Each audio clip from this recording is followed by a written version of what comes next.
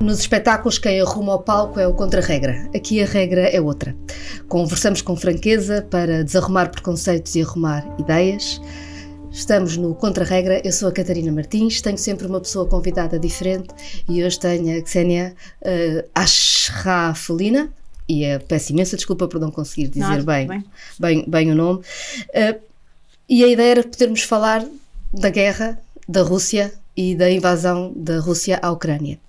Desde, a, desde o início da guerra, nós assistimos a um fenómeno normal, saudável de condenação da guerra, solidariedade com a Ucrânia, sanções à Rússia para tentar travar a guerra, mas também assistimos a um bocadinho a fenómenos uh, complicados, muito errados, de tentar uh, mais culpar o povo russo ou até fenómenos de cancelamento, digamos assim, de cultura russa que são absurdos, que são profundamente errados e que tendem a confundir um povo com um regime e tendem, sobretudo, a tornar-nos todos uh, mais estúpidos, porque as referências culturais e os pensamentos vários nos vários sítios fazem parte daquilo que nós somos. E é por isso também que é é importante e é para mim interessante poder conversar sobre o que está a acontecer com uma pessoa que é uma cidadã russa e uma cidadã portuguesa. Muito obrigada, Xénia, por teres aceito esta, esta conversa. E a primeira coisa que, que eu achava importante é como, como é que achas que na Rússia está a ser vivido este momento? Esta não foi uma guerra desejada pelo povo, não é uma imposição do regime, isso parece claro. Há sanções que, passado este tempo todo, começam a produzir efeitos na vida cotidiana está a mudar alguma coisa na Rússia? não é uma coisa que alguém uh, esperava, portanto, uh, mesmo a oposição uh, alguns dias antes da guerra continuava a acreditar que não, isto não ia acontecer, que isto, que isto era só uma das uh, manobras do Putin para uh, negociar uh, algum pastel, como nós dizemos, alguma, alguma coisinha para si na geopolítica, porque ele gosta de pensar de si próprio como um grande estratega. E. Um, Portanto, pensar que alguém queria esta guerra, uh, não podemos, porque ninguém nem acreditava que esta opção, esta hipótese uh, pudesse existir.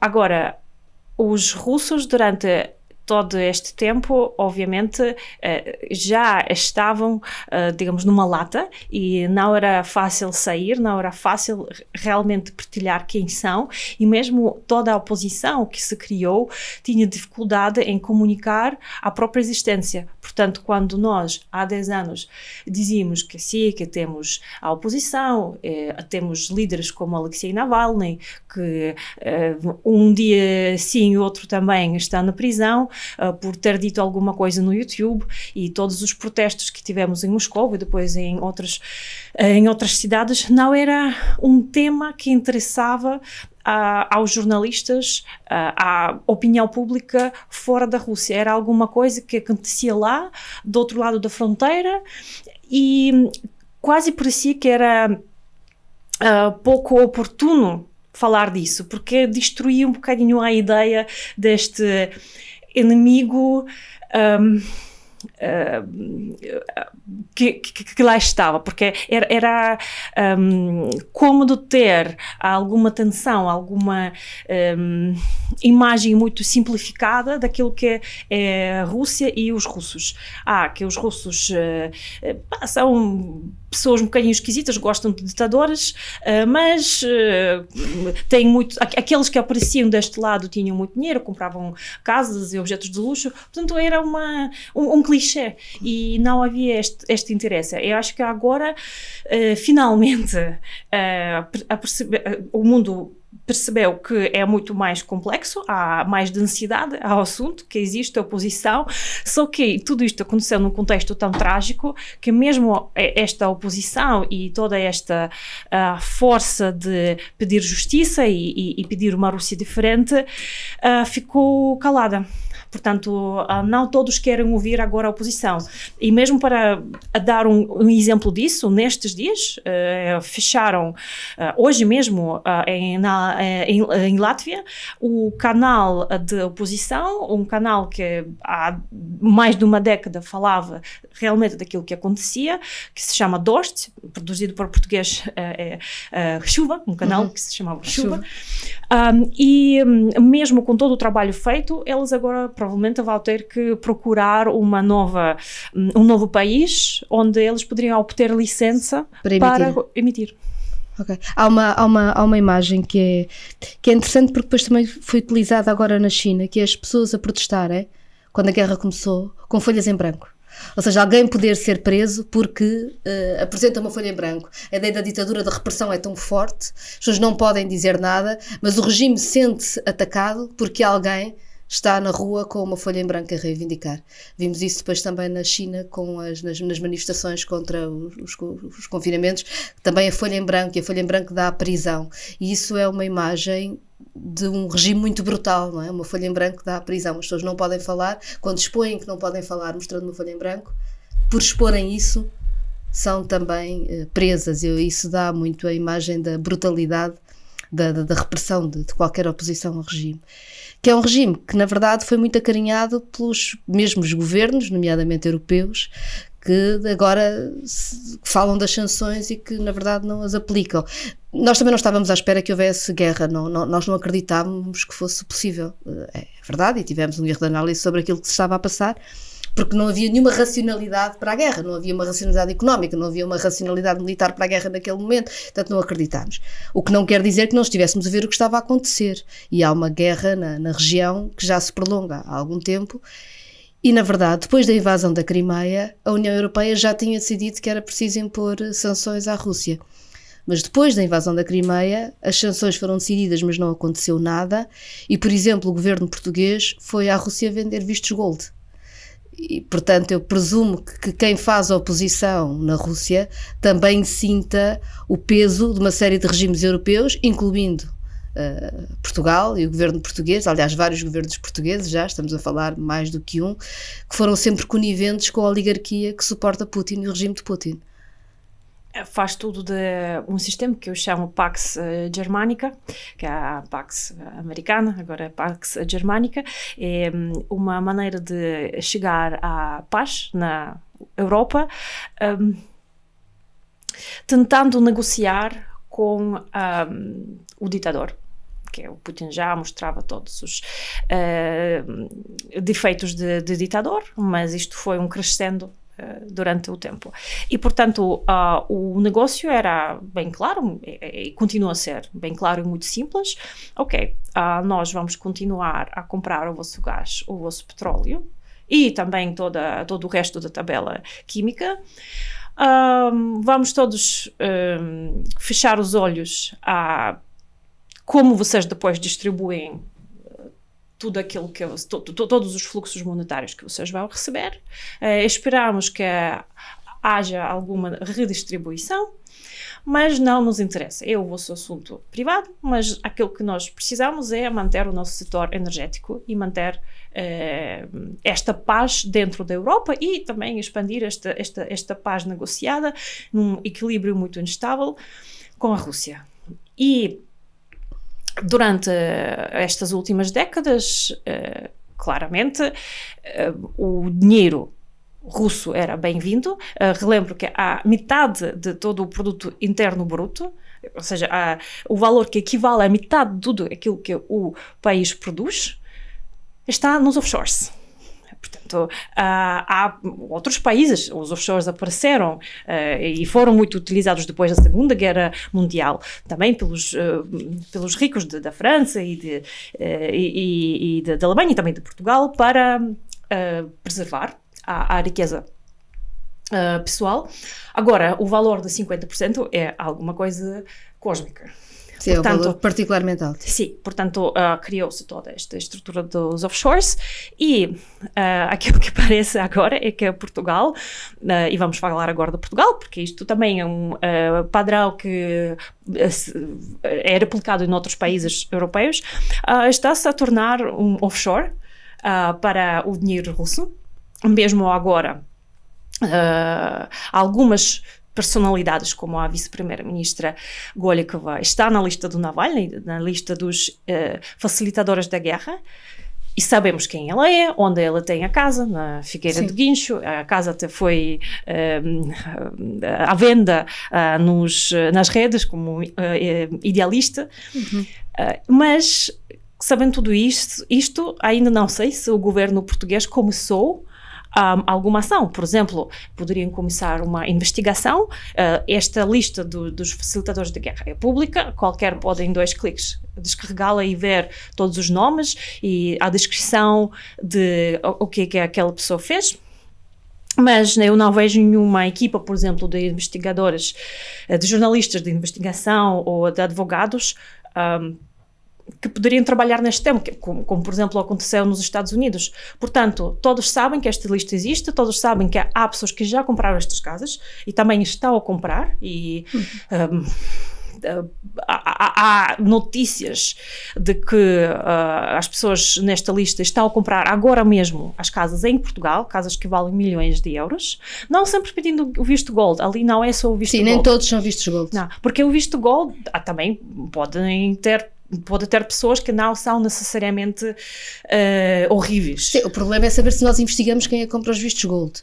Porque, quer dizer, o governo português, já depois da invasão da Crimeia, foi à Rússia vender vistos gold. 2015 foi um ano Exatamente. depois, sim. E, portanto, no, no, momento em que supostamente já havia sanções. Bem, isto já para não discutirmos se os vistos gold deviam sequer existir. Não há nenhuma boa razão para existir vistos gold. Uh, o, o, mínimo que poderiam fazer é, se o governo português realmente quer... Uh, parar a guerra é tornar pública a lista de quem comprou vistos gold. Eu, por exemplo, acho que a Malta já fez isso, isto ajudaria imenso. Sim, nós, cá, nós cá tentámos até no, no, Parlamento saber se havia alguma investigação em curso a quem comprou vistos gold e se havia sanções, se havia levantamento dos bens. Aparentemente não há nada, ou seja, não, não, não foi sequer iniciada uma investigação pelas autoridades portuguesas, que se saiba não há absolutamente nada. Nós temos vindo a insistir com isso e é esquisito, porque, por exemplo, à medida que os outros países vão agindo, nós vamos sabendo de interesses russos que estão protegidos em Portugal.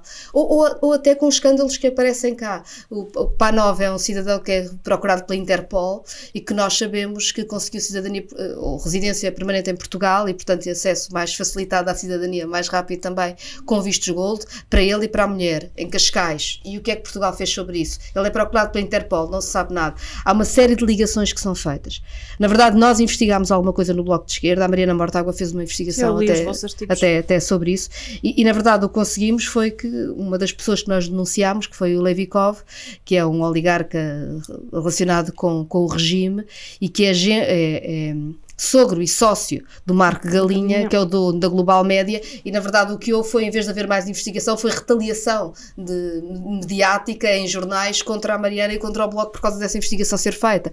Há uma há um, uma grande nebulosa de interesses que fica muito difícil compreendermos o que está a acontecer, mas há uma certeza que nós temos, é que não, não está a ser feito nada para uh, reter para pelo menos reter os bens dos oligarcas russos que têm interesse em Portugal, ou seja, para que as sanções tenham algum efeito concreto. E quem mora em Cascais sabe que a casa do Farol, aquela do uh, Levikov, uh, que vem de Chelyabinsk, que parece toda aquela malta de Chelyabinsk agora está a comprar casas lá, como o caso da Christianka, que é o, uh, um dos ministros e o marido da vice-primeira-ministra Golikova, tal que tem aquela casa com piscina em Figueira de Guincho. Portanto, ali parece assim um um, um terreno sempre mais alargado privado uh, deste, de, destes amiguinhos uh, de Chelyabinsk, que é uma cidade industrial uh, uh, nas montanhas Urais. Uh, ali há uma, uma, brincadeira com barba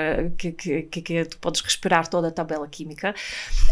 e é uma, uma cidade verdadeiramente hum, feia. Eu estive lá uma vez e eu percebo porque eles querem fugir e porque que eles querem tanto ter uma casa com a vista. Agora, esta casa de, do Farol, que é, é três vezes mais cara do que a casa que a equipa do Navalny descobriu, a da Golikova, e quem mora em Cascais, especialmente as boas famílias, assim chamamos boas famílias, provavelmente deveriam agora ah, perguntar se querem ter por vizinho uma pessoa que comprou aquilo tudo com dinheiro uh, banhado em sangue ucraniano e russo. E aquilo que a Catarina começou a dizer, estes oligarcas, qual é o verdadeiro perigo para Portugal? Porque não só compram a influência através, por exemplo, uh, de entrar na família com a Marco Galinha Uh, com a filha do Lievikov, que, que uhum. se casou com a Alina, acho que se chama, com o, o, o uh, dono de, também de uma parte uh, do império mediático, mas também criminalidade, porque um, Uh, esta gente sai dos anos 90 uh, e os anos 90 e aquilo que está a acontecer mesmo agora na Ucrânia se, é o contínuo da, da, da mesma uh, do mesmo desprezo pela, pela vida humana. Aquilo era um, o inferno. É hoje é para onde a Rússia nos anos 90 a Ucrânia agora é para onde o esperança vai morrer não? E, e eles não têm nenhuma empatia. É uma psicopatia mesmo coletiva aquilo que se vivia. E, portanto, agora estas pessoas vêm para Portugal e Porquê que nós achamos grupos. que não vão continuar com os mesmos mecanismos? Se já, se já sabemos que o Estado russo um, Sim, porque é que de repente uh, uh, ganhariam empatia ou respeito por Sim, direitos humanos e, ou, e os métodos delas respeito é, pelo Estado de Direito? Os métodos delas é criminoso, ou seja, esta criminalidade organizada agora poderia ter todas as condições aqui em Portugal. Quando, quando, quando o Bloco foi formado, em 1999, e fez um, um documento, o documento fundador do, do Bloco, o Começar de Novo, faz uma análise da situação e faz uma análise da globalização. E eu fui repegar nas coisas que, que estavam escritas na altura, exatamente por causa disso, por causa deste, deste perigo. Afinal, de onde é que vem este poder? De onde é que vem o Putin? Bem sei, 99 ainda não era o Putin, mas é deste poder que ele vem, é destes, destes uh, senhores. Uh, desta máfia que nasce, que nasce, que nasce este, este regime. Na altura, eh, a análise que o Bloco de Esquerda fazia que era, dizia que a esfera pública surge como uma simples fachada legal para a acumulação privativa, eh, primitiva de economias mafiosas que traficavam votos e influência. A análise que nós fazíamos na altura é que um, ehm, os, os eh, a, Rússia, como a Ucrânia também, nesta zona, zonas de território do capitalismo mais selvagem, com poderes mafiosos a instalarem-se no próprio Estado.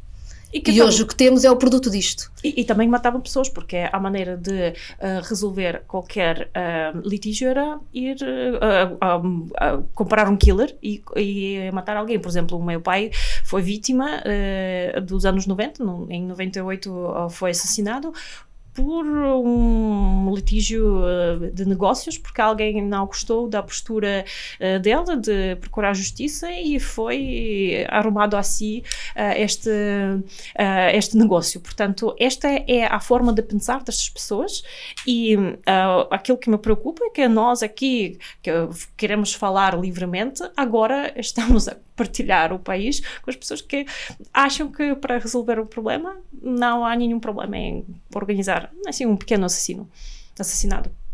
Sim, são, são, são criminosos, ponto. Hum. E está diferente a Rússia? Não, Ou Rússia... este ambiente dos anos 90 permanece? Uh, durante uh, os 2000 uh, ah, mudou. Porquê?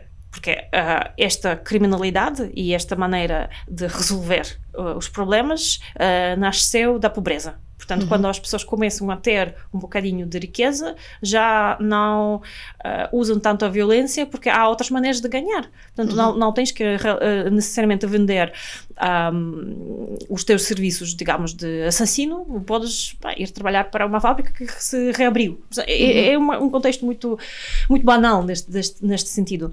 Um, e quando começam, uh, quando, quando uh, mais uma vez temos uma crise, como agora uh, na Rússia, há obviamente uma um, caída económica. O, o, meu medo é que os, isto vai voltar com a mesma força. Foi ali um, um, um período de, de, de, de sossego, digamos assim, mais ou menos Uh, eu, eu, falo da criminalidade cotidiana. Uhum. Uh, obviamente, a criminalidade de alto nível, de envenenar os inimigos uh, políticos ou grandes Essa chefes. permanece como é público e notório. E quem está a ser agora enviado para a guerra são, na verdade, os filhos das famílias mais pobres. Claro. Ou seja, a desigualdade permanece, é muito grande e é aí que a, que a guerra se vai, se faz, vai fazer sentir. Quem não sabe proteger, sabe? As pessoas que nunca desenvolveram a capacidade de pensar e de se defender. Portanto, é, olhando para as estatísticas, mesmo estas muito manhosas, mas é muito claro que são as regiões é, etnicamente não russas, por exemplo, Buryatia, que é uma região ao lado da Mongólia, Uh, também Daguestão, que é uma república muçulmana uh, no sul do país, que é muitos nem provavelmente não, não a Buryatia fala obviamente russo mas não, não são etnicamente russos uh, todos somos uma mistura Sim, claro. mas ali é mesmo assim, assim do, dos repúblicas nacionais agora um, pensar uh, que estas pessoas poderiam ir para a guerra a defender ideais uh, russos, como uh, as vende a propaganda, é, é, ridículo. Eles estão lá porque uh, muitos foram no início comprados com as promessas de grandes salários, portanto, até para a família poderia dar jeito, ok? Não sabiam para onde ia, mas o salário era uh, permitia um salário uh, várias, várias vezes maior do que as oportunidades locais. Portanto, as pessoas iam, algumas pelo interesse e pela incapacidade de encontrar alternativas. Agora, com a mobilização, agora as pessoas perceberam que tu vais morrer, o que é que fazem? Mais ou menos um milhão já saiu com mobilização, são as pessoas mais um, adinheiradas. Uh, quem pode fugir é quem tem meios para fugir, não é? Sim, aquel, aqueles que sabem que vão encontrar trabalho. Uh, primeiro saíram todas aquelas pessoas que mesmo moralmente não aceitavam e tinham a oportunidade de reconstruir a vida. E a classe criativa, uh, além dos... Uh, uh, IT, não, é? dos uhum. developers, porque esta é uma a enorme classe que, que sempre tem trabalho, podem encontrar trabalho onde quiserem. Uh, depois de mobilização, aquele, quem, quem ainda ficou saiu. Uh, e agora também, porque a Rússia, pensar que tudo está tão organizado, ordenado, não é verdade. A Rússia é um caos. Especialmente as pessoas que vão para o Estado são os, as pessoas menos capazes, portanto, menos capazes de se organizar, de, de, fazer alguma coisa com o mínimo de jeito.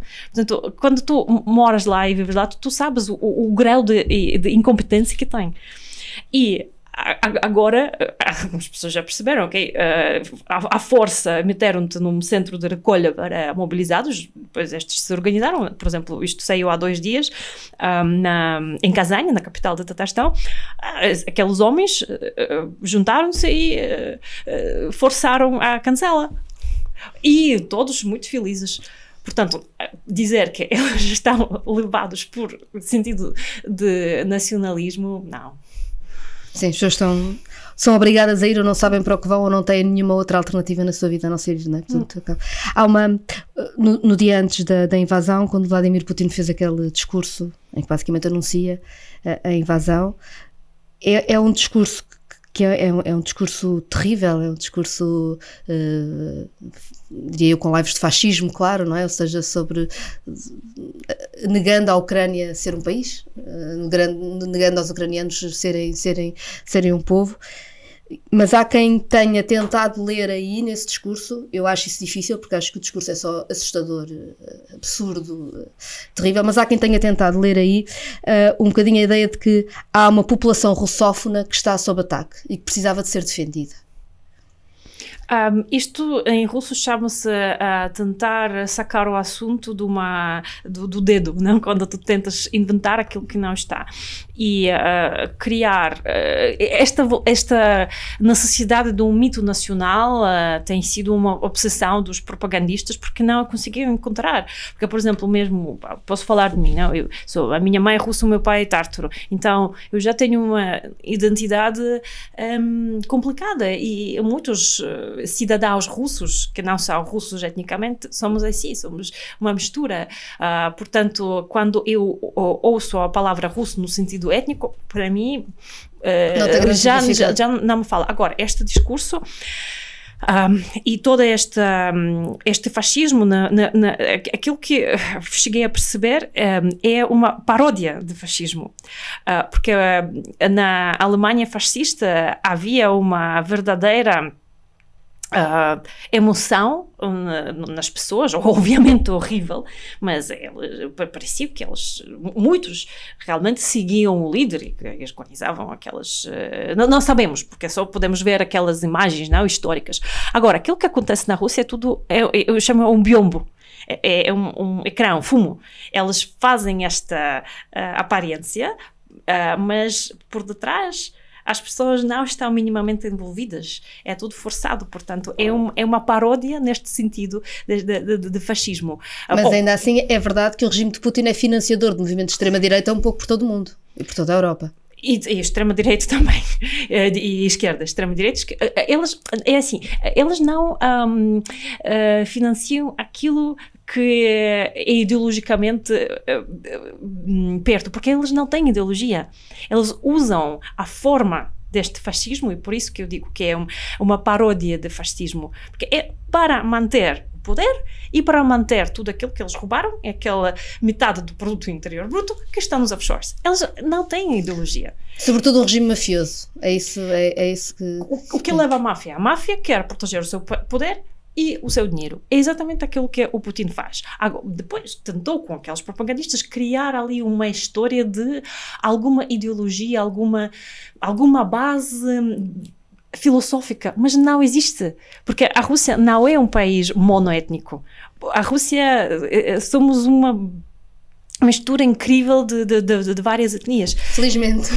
E aquele discurso, na realidade, foi um discurso prático. Era uma necessidade de uh, deixar manchas de sangue em todos. Dizer, vocês todos agora, publicamente, têm que apoiar aquilo que eu vou fazer.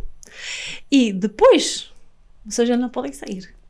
E publicamente vocês estão no mesmo barco e vocês agora vão ter que estar comigo porque uh, se uh, vocês não demonstram o apoio uh, pessoal ao presidente, então podem acabar envenenados, podem acabar com alguma desgraça.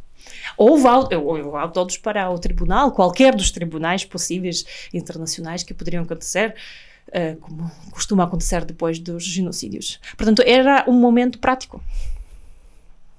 E, e, e, achas que há possibilidade de haver mais organização da oposição ao regime e alguma transformação? Ou a guerra não vai ser o momento para isso? Hum. Ou seja, a guerra, a guerra foi o momento em que apareceu contestação pública a, a Putin e ao regime, não é? Ou seja, apareceu, foi Mas... aparecendo com mais visibilidade do que tinha. O problema é se caminha para alguma transformação na Rússia ou se, na verdade, a guerra acaba por ser a melhor maneira do Putin permanecer. A guerra provavelmente é a melhor maneira para o Putin sair finalmente. E esta liberdade, e vai vir, obviamente, eu acredito que sim, porque todas as guerras acabam, uh, é feita pelas mãos uh, dos rapazes e, e, e, raparigas ucranianas agora. Uh, e esta é a grande injustiça, porque elas porque são elas e elas. Uh, do lado russo é um patriarcato engraçado, é?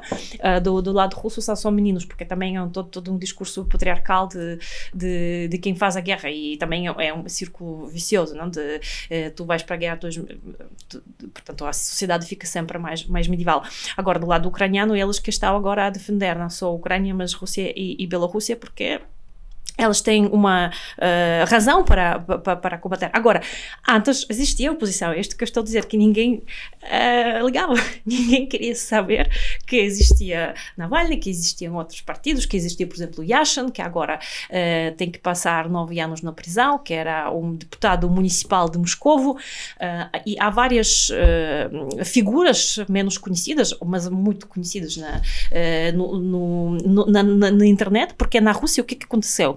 Se uh, o televisão, a televisão não é como em Portugal. É, em Portugal as pessoas têm muita um, simpatia pela televisão uh, e tudo aquilo que é, digamos, marginal ou, aquilo que acontece no YouTube não tem a mesma força. E eu vivi isto porque notei que realmente são milhares de mil, milhões de pessoas que, que televisão. Na Rússia há uma parte que vê televisão, mas o YouTube é enorme. Portanto, uh, se tu querias procurar a informação alternativa, tu ias para YouTube. E é ali que o Navalny e outros opositores criaram a rede de comunicação e, este, e tudo isto acontecia, só que não, não tinha. E, e, estas redes, uhum. desculpa, fazer pergunta de uma forma muito franca, uhum. não, não é para, uhum. para ofender nem para simplificar realidades que são, são distantes e que eu conheço pior.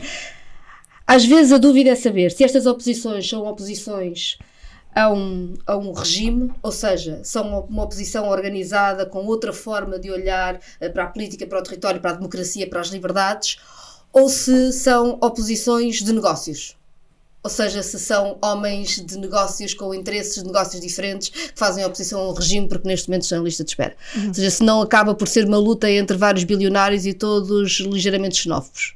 Um, aqui, mesmo não. Uh, ou seja, a posição uh, representada por Alexei e por toda a equipa e depois todas as pessoas que uh, de alguma forma contribuíram com o seu conhecimento, por exemplo, economistas como uh, Guriev, um economista conhecido, agora está em Sciences Po, em França. Portanto, estas figuras emblemáticas uh, contribuíram com o próprio talento e o próprio profissionalismo para criar a agenda e a, a visão da Rússia, a maravilhosa Rússia do futuro, como nos dizemos, um, e uh, não é para defender uh, interesses, porque, sinceramente, o que tipo de interesses poderia defender Navalny e a, a equipa? eles, eles próprios sobrevivem com as donações, doações que as pessoas fazem.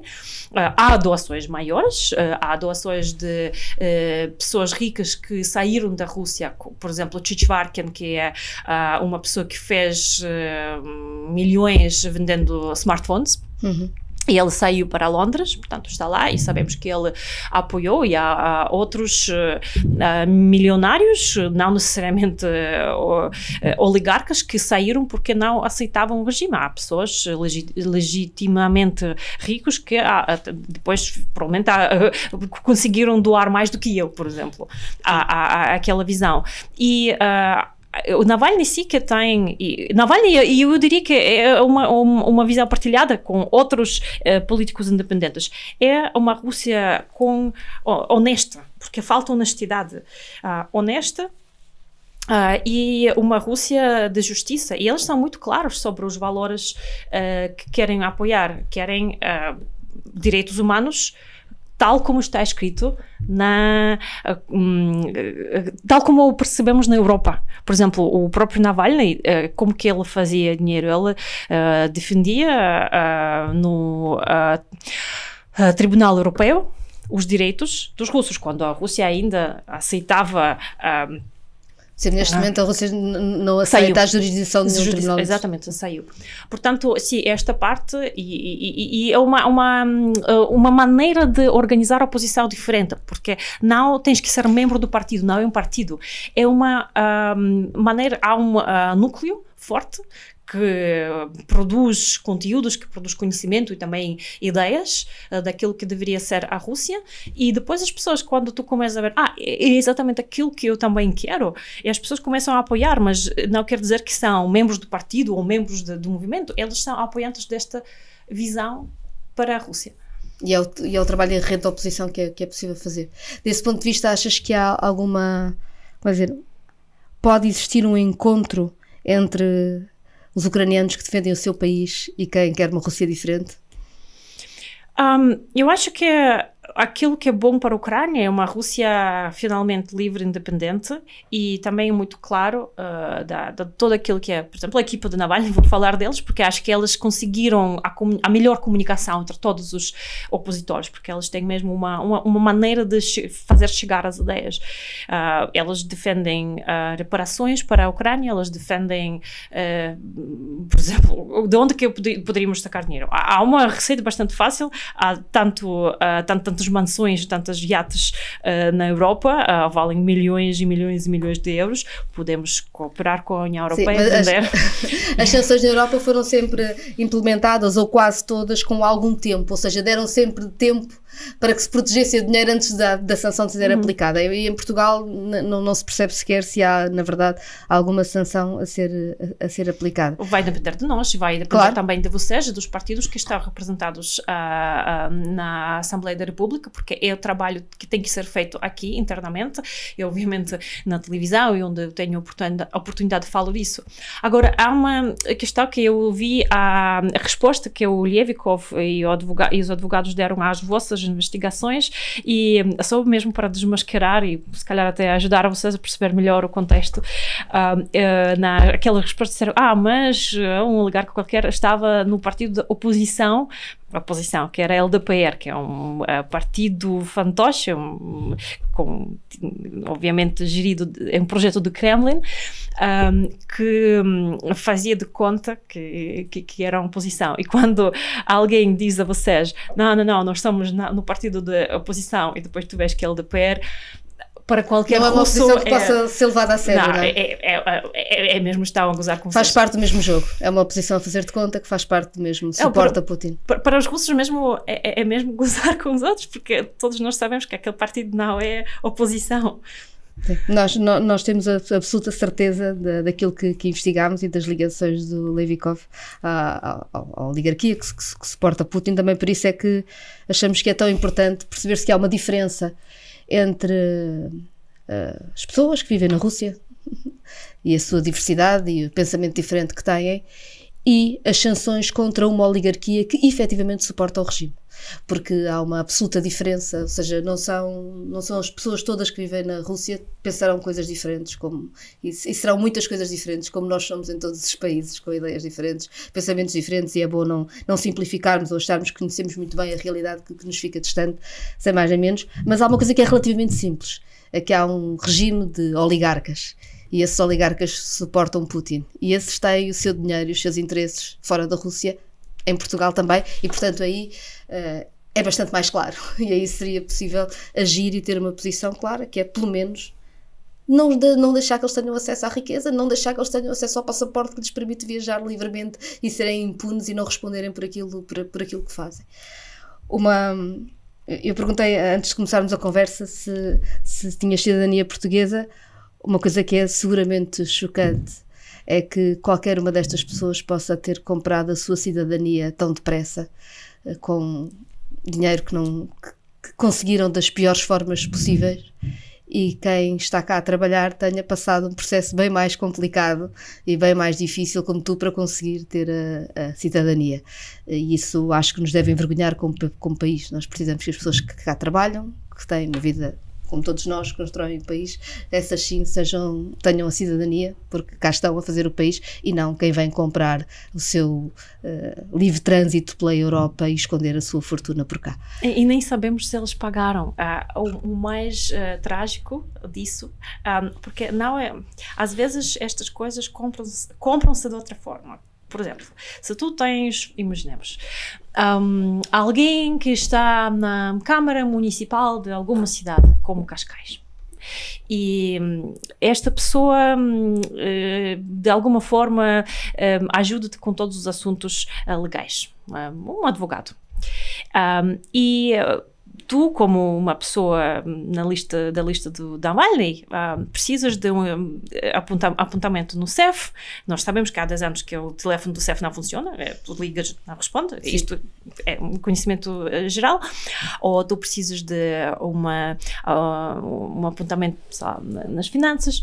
Uh, especialmente CEF. Aquilo, há, há, pessoas que compram bilhetes para Madeira, fa, fa, fazem malabarismos inimagináveis para conseguirem. Para, para conseguir. Agora, se tu tens, digamos assim, uh, se já vais investir, investir, uh, esconder alguns milhões, Portanto, ali abrem-se as portas, nem tens que pagar necessariamente, tu tens o, o tráfico de influência. E, portanto, ah, CEF, ok, é hoje às três. Portanto, em 24 horas consegues todas estas comodidades. E por isso que eu nem sei se depois de uh, ter comprado aquela casa de 10 milhões, o, um, o próprio Abramovich, que é, repito, é a carteira-amor do, do Putin, um, necessariamente pagou a alguma senhora lá do CEF. Provavelmente foi feito ah, um favor. Um, um, um, dos problemas do, do, dos vistos, quer dizer, os vistos gold têm muitos problemas. Um deles é especulação imobiliária, as casas passam a ter preços incomportáveis eh, com, com esquemas como os vistos gold e não só, mas com outros esquemas. E pelo menos de... o dobro, portanto, Sim, portanto os preços cresceram pelo menos um dobro. Exatamente, portanto, uhum. duplica os preços das casas, tem o problema de nós estarmos a acolher uh, pessoas que estão cá a esconder a riqueza que roubaram noutros sítios Estamos a receber, como tu explicavas e bem, pessoas que têm as piores formas de estar na vida e com o maior desprezo pela vida. E, portanto, é, é, é, é perigoso. Estamos a importar criminalidade diretamente e estamos também a importar corrupção. Sim, sim. Uh, porque tudo isto é uma forma depois de, de, agir com o próprio Estado que se vai, que se, que se vai instalando. E... A marca do Putin é, é exportar a corrupção, porque o próprio Putin parece convencidíssimo que as pessoas compram-se. E se não se compram, ok, Sim, mas um o, o Estado português podia não se querer vender. E essa é a nossa luta, que o Estado português não se queira vender. Eh, sim, mas eh, é isto, o dinheiro fala muito mais alto para é, é, é, humano e nós vimos isto em Áustria, nós vimos isto em outros países. Agora, Portugal tem uma oportunidade histórica agora, realmente histórica, que uh, tem por uh, co-cidadão, nós todos temos por co-cidadão o Abramovich, que é agora uhum. o cidadão uh, português mais rico de, deste país. Um, e cuja aquisição da nacionalidade através da, genealogia também está a ser investigada, ou seja, todos aqueles processos neste momento estão Tá, há, há, muitas suspeitas sobre, sobre todo o processo e, portanto, sim, é sim, extraordinário sim. que mantenha tudo como está, depois de ninguém poder confiar naquele processo. Portanto, o, o governo, também com a pressão, provavelmente, dos partidos representados na Assembleia, deveria uh, criar realmente um grupo de investigação. É uma das ideias. Provavelmente há outros é mecanismos. uma belíssima ideia. Uh, para cooperar realmente nisso, porque senão, uh, com este tráfico de influências, depois os nossos médias, que já sabemos que os médias têm por detrás grupos de influência, portanto, vão ficar sempre mais sujeitos a interesses dos oligarcas russos um, e, obviamente, também das pessoas que acolheram estes uh, oligarcas russos através de, destes, uh, destes, casamentos e de, de, desta uh, rede que se, que, que, se fez já, e a criminalidade, sim. Portanto, o, o, o inteiro país é, uma segura, é um assunto de segurança nacional.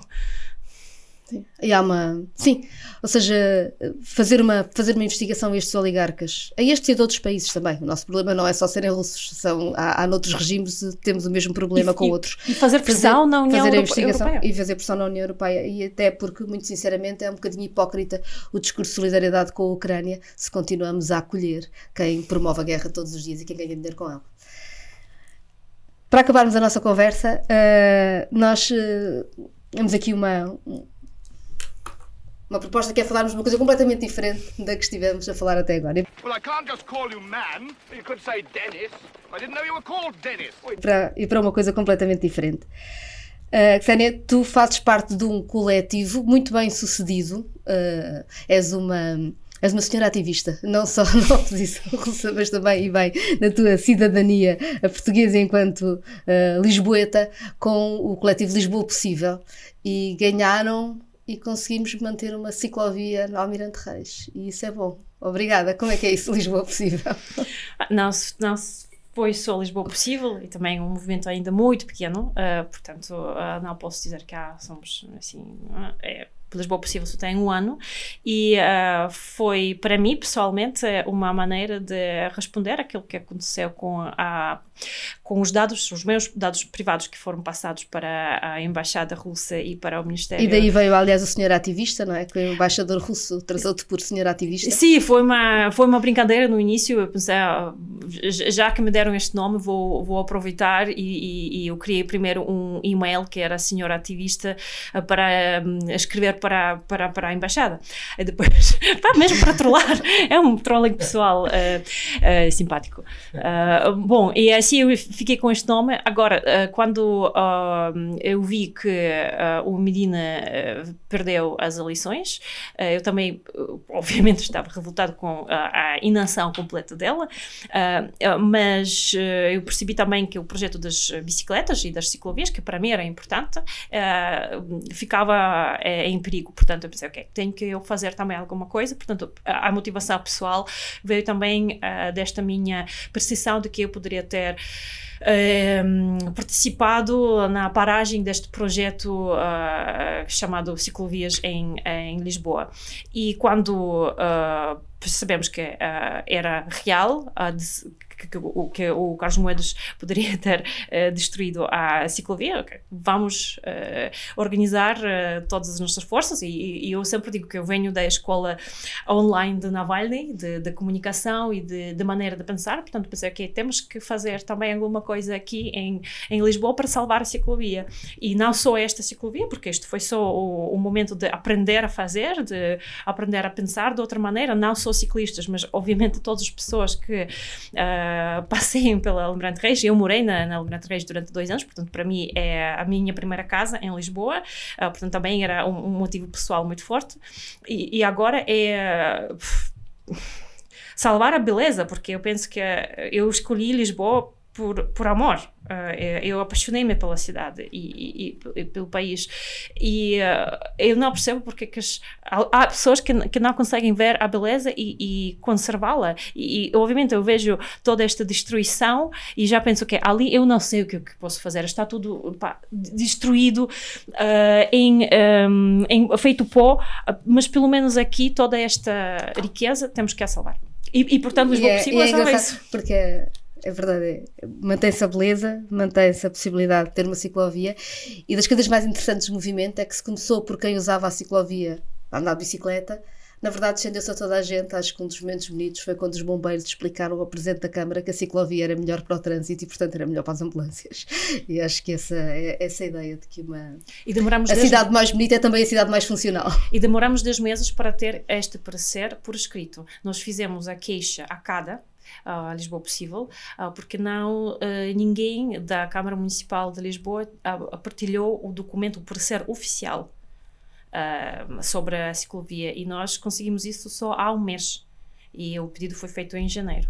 Portanto, 10 meses uh, para obter. Nós, e nós, dentro da equipe, dizemos que sim, é uma democracia trabalhosa, deu-nos muito trabalho para ter documento oficial, mas agora sabemos que está feito, a parecer oficial, eh, já achamos que ninguém pode tirar esta ciclovia, agora continuar a pedir mais ciclovias e também eh, mais uh, uh, passeios para as pessoas porque e para as crianças. Nós sempre dizemos é caminhar brincar pedalar respirar. São quatro verbos muito simples. Então importantes. Obrigada. Obrigada eu